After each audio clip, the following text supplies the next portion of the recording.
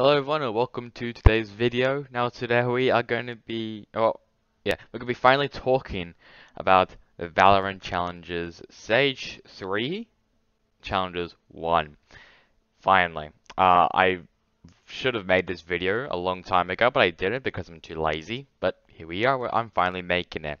So before we get into all that, let's just first talk about the roster moves and then we get that out of the way. So Thief, who was actually who was subs who was subbing in for Zellsis, who I did mention the video that he got suspended um, for the duration of Challengers One. He's now back in Luminosity Gaming, who's inactive, which he is inactive. Uh, other stuff also including that Zest, he's now inactive in Vision Strikers. I think had an injury if I remember correctly. Ekis has now joined uh, Ninjas and Pajamas and X610s will be now the assistant coach for Ninjas and Pajamas. Uh, Hunya, I, I, actually, I, I don't know how you say that, I'm just guessing. He's now off the, the inactive role for Ghost Gaming.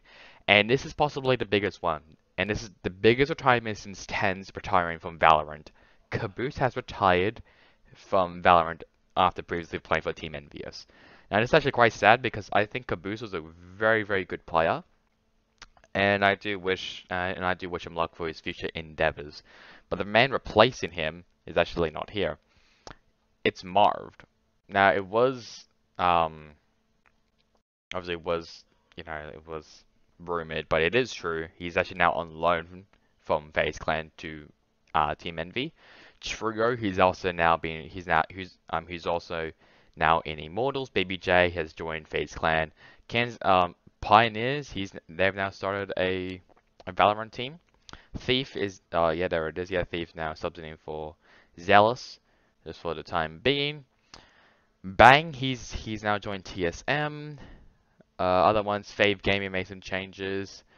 Uh, Evil Geniuses have also made some changes as well, basically getting rid of most of the female players and having one female player left. Which I can't remember top of my head. Claudia, um, Claudia has actually joined CLG Red. Uh, other ones, now I'm trying to have a look. We did, he's now joined NRG after being inactive uh, with XSET. A lot of changes now for Crazy Raccoons after, like, uh, I mean, they, they, didn't do that bad, I'll be honest, in Reykjavik, but kind of expected more. Bazi, uh, Fisky, Minter, and Aid. They've all joined Crazy Raccoons. Ryan and Zephyr, they've now become streamers for them. Zekken, he, he's now he's now a part of XSET Gaming. Draken is back in Guild Esports, which is a bit weird. Brax, Dawn, and Spider, well, and. So Brax and Dawn, they have all joined T1. Spider has now become inactive, I think for like a wrist injury or something. And Days has left T1. Um, other ones, G2 obviously they have made those they, they made their changes. pyth has actually become inactive, which I'm which I was very, very surprised about and keloqz. He's now joined um, G2. Dark Zero Esports have also made their switch into Valorant, with basically recruiting Cookie Koalas and Kohler. RV, he's they've now also came up um, to Valorant as well by just only signing Cloud and Thevs as the player and manager. Rob Wiz has left uh, has left um, by Gamers. OG have also made some changes as well. Trex DPS uh, Destrin and Tazisk has joined um, OG. Uh, I think that's really about it. Def has joined. The Glow has uh, joined Vision Strikers as a coach. Uh, um, Koala Noob has joined Ghost Gaming as a trial. I think it's ended now. Dapt has retired, so that's another pretty big name in Valorant who's now retired. Uh, Jerk, he's joined Renegades. Uh, there's obviously Team Heretic stuff, and really all I'm going to really talk about. But yeah, um, and also for the rumors, I'll go to quickly touch on the rumors. For second, Thriffer has joined Andbox. Artist has left Team Heretics, while Amelia, while has joined them.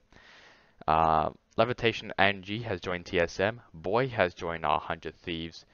Giants Gaming have also made some changes. David P and Ambi have joined them.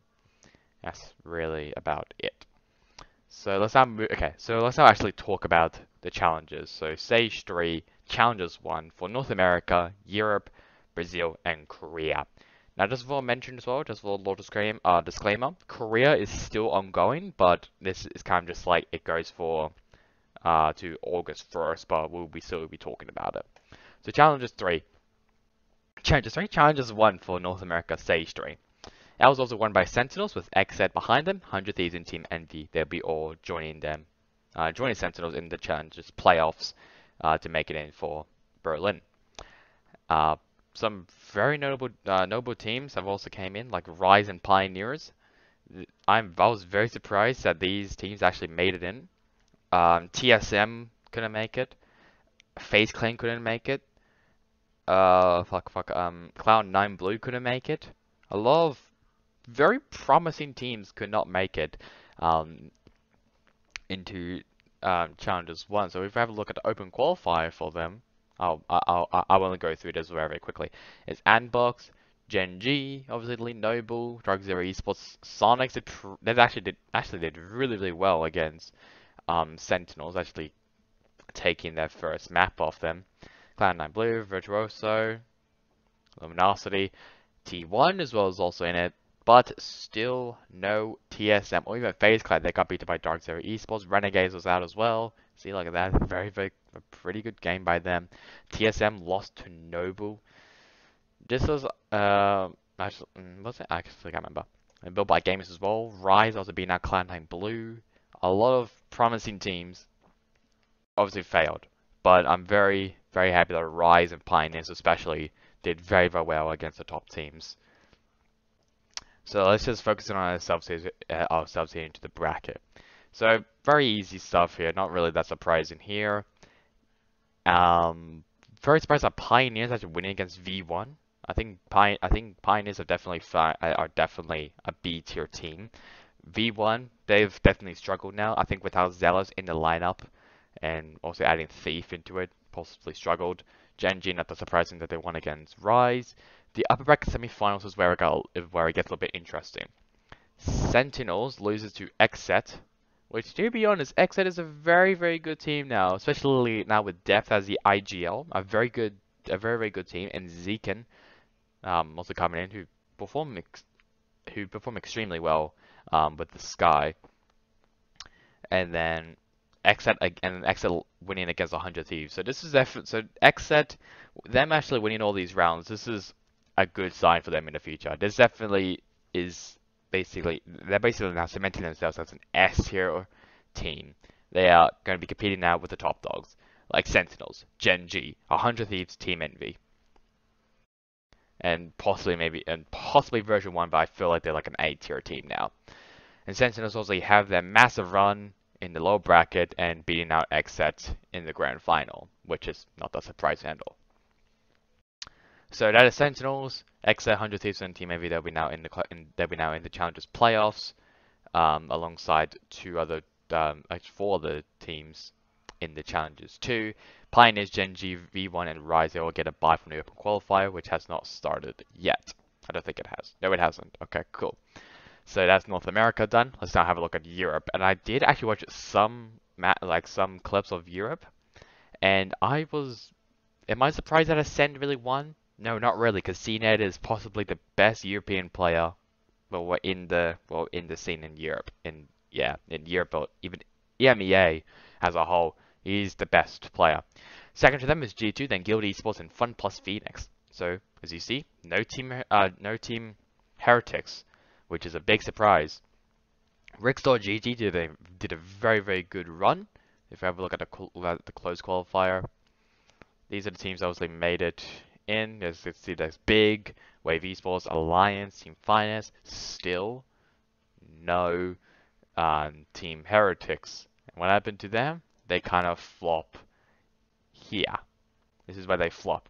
Still nothing here or in, in, for Team Heretics and, well, I think no. Heretics is... Oh yeah, they didn't even make it into this. They, they, they didn't even make it to the open qualifier. They were knocked out immediately.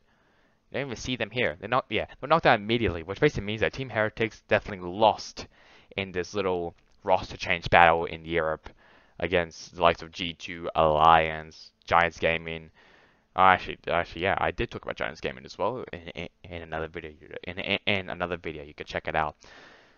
Uh, Acend and all those teams, they've they are definitely the biggest losers out of all of them, which is which really sucks to see. So this is obviously what the well the main event. So these are Team Skilled Esports, Acend, Liquid, G2, Fnatic, Rix.GG, Thunder, BDS, and Fun plus Phoenix. Results here, not that surprising that Fnatic actually won against Liquid because Fnatic was the best European team in Reykjavik. Guild Esports winning against Team BDSM, not that surprising. Not that surprising at all for the upper bracket quarterfinals. Um, I guess, nah. I guess what was a little bit surprising was that G2 didn't really make up, didn't really have a fight against Fun Plus Phoenix, but they did obviously went on this huge rampage in the in the low bracket. Both of the, both of the Reykjavik European teams were eliminated in the low bracket round two by Fun Plus Phoenix and G2. Uh, around here as well, G2 gets their revenge. Acend was winning against Fun Plus Phoenix, and Guild Esports winning against Fnatic in the upper bracket semifinals. Then Acend winning against Guild Esports in the in the upper bracket final, which I did watch a bit of it, and I also watched a bit of the grand final, Acend versus G2. And my god, CNED was disgusting. They were thrashing G2. And obviously G2 did, did make a pretty good comeback in Ascent and Haven, but it was not enough. And Acend beat the G2 in a 3-1 fashion.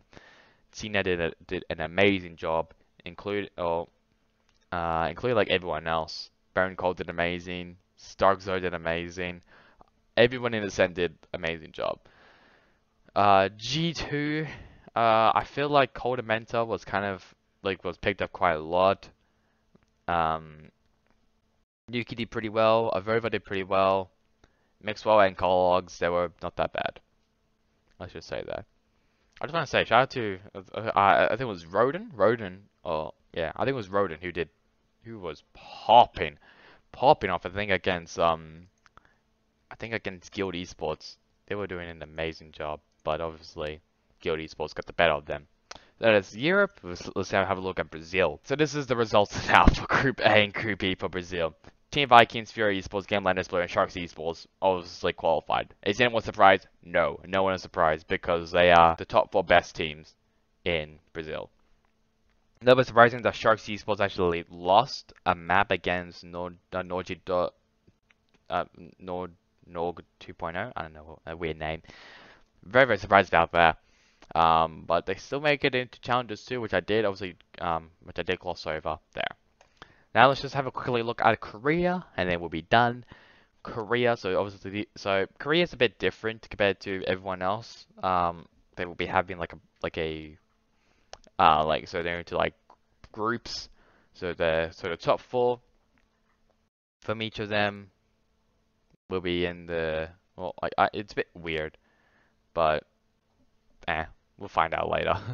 uh, but NUTURN, Claws, Damwon, Noble, Experience, Vision, um, Vision Strikers, Unknown, all uh, WGS Goma, Prince, Rue Gaming, TNL, DFR, F4K, Alpha 6, Gochugaru, MUJIG, 100, 100 Su. They're all obviously part of the on the main event. Not a lot of surprises here. Obviously, the I so NUTURN and TNL they are the highest seeds in their I guess in the bracket. Um, NUTURN obviously winning in their bracket, and TNL winning their bracket. Um, couple minutes time in 30 minutes be Prince versus F4K and then Vision Strikers versus Gochugaru. And I think Vision Strikers are definitely now looking for redemption after a very disappointing showing in um, in the in the um, challengers leading up to um, to Reykjavik stage two. But whatever's gonna be, whatever. So this is uh, so that's currently what the bracket currently looks like, and it will be updated in 30 minutes time here, and then three hours in that one. And I think when that match is done, um, I think for I think the I don't know how it's gonna be. It's a bit it's gonna be a bit weird. I think there's gonna be all these teams from these brackets will be in a group. I don't know. I'm I'm a bit confused, but that's alright. Um, As for the other bracket, as for the other ones, I don't really mind. I think um, CIS I was won by um, Gambit Esports. Turkey I actually cannot remember. That was won by Supermassive Blaze. So not Austrian Esports, which I was expecting. Japan, Crazy Raccoons, and someone else, I think. Crazy Raccoons and Zeta Division. So it's kind of just like, um, it's just like the, the Brazil one. So Fortes will be in the Challengers playoffs. Uh, the C, no one really, I don't really mind. I, I can't really be bothered really to go there. Latin America North, Six Karma, and Infinity are in Challengers playoffs. And for the South, KRÜ Esports and Astrals are in Challengers playoffs. That's really it. So, hope you guys enjoyed the video. I know it was a bit, uh, a little bit quick, but I tried to get there as, um, as quickly as I could without making a, a long ass video. So that's really it for me now. I hope you guys enjoyed the video. Catch you guys all next time in the next one. Goodbye.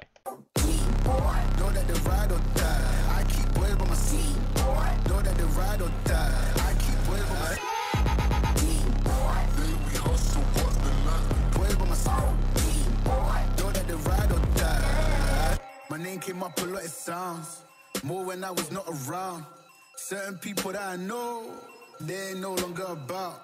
My name came up a lot sounds. More when I was not around.